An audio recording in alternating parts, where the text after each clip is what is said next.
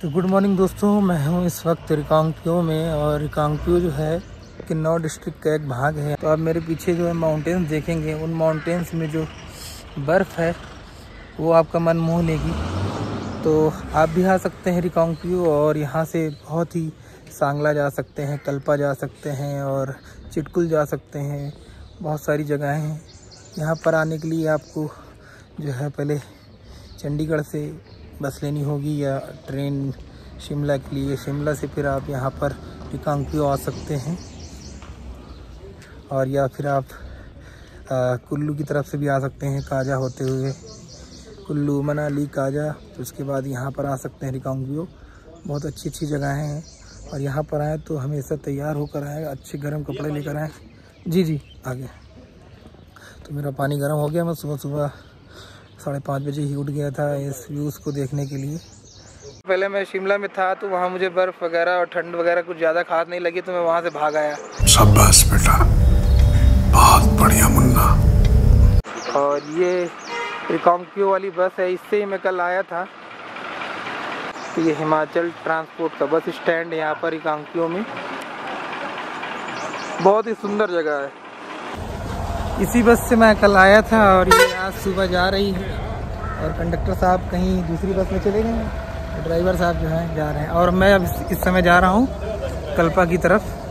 और ऊपर देखता हूँ क्या क्या मिलता है कल्पा में मुझे। मैंने जैकेट डाल ली है।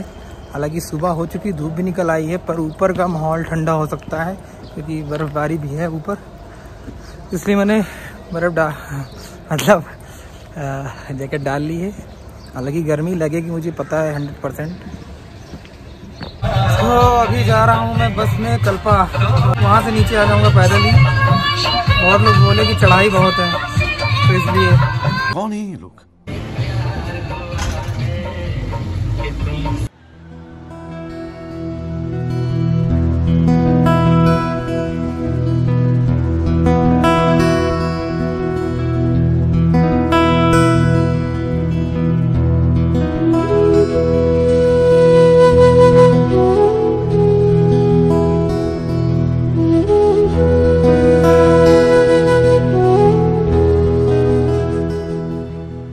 दोस्तों हम लोग इस वक्त हैं कल्पा पे। मैंने रिकांगपियो पे रात में स्टे किया था और वहाँ से सुबह साढ़े सात बजे मुझे बस मिली है जो कि यहाँ पर वीराने में हम लोगों को छोड़ दिया है बोलते हैं यही कल्पा है। और भाई मेरा आया है। कहाँ से हैं भाई आप? चंडीगढ़। चंडीगढ़ से हैं। चलो इनका ज़्यादा दूर नहीं है। हाँ फिर भी दूर तो है ही है। चौदह घंटे लग गए। चौदह घंटे लग गए। और पीछे देखिए माउंटेन्स देख सकते हैं आप। इन्हीं को देखने के लिए मैं आया हूँ। बहुत ही बेहतरीन नज़ारे भाई। मज़ा आ गई मैंने सोचा था माइनस में होगा टेम्परेचर पर ठीक है बढ़िया है। उसी हिसाब से लेकर आए हैं बैग और यहाँ पर वो जो पॉइंट देख रहे हैं सन के नीचे जस्ट जो हल्का सा वी सेप का बना हुआ है वही है किन्नर कैलाश। पता नहीं आ रहा कि नहीं अभी दिखाता हूँ कैमरे से फिर।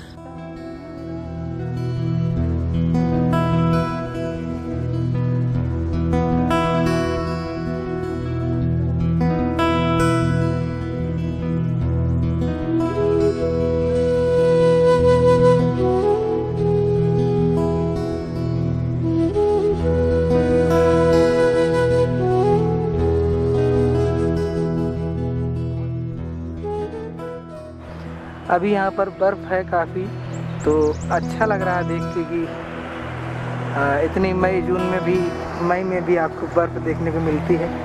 तो मैं जिस स्थान से आता हूँ, फतेहपुर से, वहाँ पर टेम्परेचर है लगभग 45 के अराउंड और यहाँ पर है टेम्परेचर अराउंड 10 तो अभी जो है, दिन की शुरुआत हो चुकी है। अभी दिन के आठ ही बजे होंगे। और मैं आ चुका हूँ तो यहाँ पर टेम्परेचर हो रखा है दस। तो यहाँ पर धूप भी निकली हुई है। जैसा कि आप देख सकते हैं कैमरे पे सूरज देवता हमारे जस्ट ऊपर है। काफ़ी अच्छे व्यूज़ भी हैं और साथ ही साथ बहुत अच्छा लग रहा है ठंडी हवाओं के साथ। तो ये रहा आपका दोस्त आदित्य कुमार निषाद। इन हँसी वादियों का मज़ा लेते हुए हमें मिले हैं हमारे एक मित्र जो कि चंडीगढ़ से आए हैं। क्या नाम बताया था भाई आपने? गौरव भाई। ये हैं गौरव भाई और सब लोग घूमने आते हैं यार मज़ा आ जाती है। मेरा बस चले तो पूरा घूम डालूं एकदम बेहतरीन। मैं कल की चिंता नहीं करता। उतनी सेविंग्स है मेरे पास। मेरी फटी पड़ी है परसों को लेके। आप भी आइए कभी मज़ा आएगी आपको भी। sir.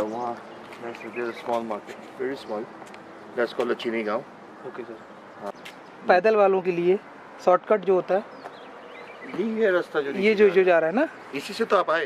ये मैं तो बस से आया हम लोग। हाँ तो इसी रास्ते से आए हाँ इस रास्ते से आया। हाँ तो यही वाला रास्ता है। हाँ ये कर लो पहले। बड़े लोग हैं पहले ऐसे करते होंगे। सीधा जाने का रास्ता नहीं है। नहीं वो तो बता रहे थे नीचे से नीचे से आने के लिए शॉर्टकट नहीं नहीं नहीं ऐसा कुछ नहीं है।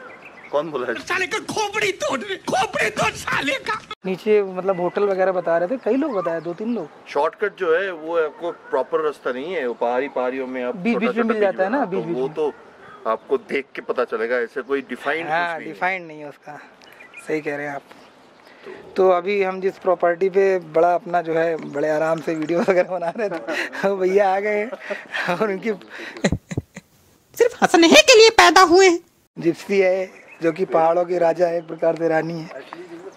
सांगला है ये वाला वहाँ पर एक माउंटेन है जो कि वी शेप का है वहाँ पर आपको एक शिवलिंग अगर नज़र आ रहा हो कैमरे में तो आप देख सकते हैं वो तकरीबन 80 फुट का है शिवलिंग बट इस कैमरे में जस्टिफाई नहीं हो पा रहा होगा। आपकी प्रॉपर्टी में मतलब देखो क्यूट सा एक डॉग आ गया। तो भैया बता रहे हैं कि यहाँ पर रात में लिपड़ वगैरह भी हैं तो रात में टहलना अलाउड नहीं है ज़्यादा। आप अपने रिस्क पे टहल सकते हो कोई बात नहीं। इन लोगों को तो पता चल जाता होगा पहले से ही ना। हाँ? इन लोगों को पता चल जाता होगा। वेरी पावरफुल डॉग दो तीन मिलके तो एक लेपर्ड को मार देते हैं पर फिर भी कभी कभार वो बनता नहीं है ना। हाँ ये- इट्स लुक लाइक टाइगर ये तो बच्चा ही है तीन चार महीने का है ये अच्छा। कल्पा। पीछे आप ऑर्चिड देख सकते हैं एप्पल का पूरा ऑर्चिड है। ऑर्किड व्यूज़ आप पीछे देखिए। पहाड़ों की आनंद में। भैया की प्रॉपर्टी पर मैं ऊपर चल चल रहा था। देखा, खाली पड़ा है तो हम लोग थोड़ी देर के लिए आ गए। तो भैया भी आ गए साथ में, वो कलकत्ता थे